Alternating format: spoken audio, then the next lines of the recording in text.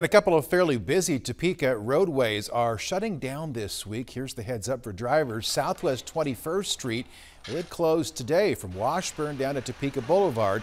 They're working there to install a water line. They should keep that road down for about two to three weeks, we are told. Traffic will be guided down to 17th and then back during the installation.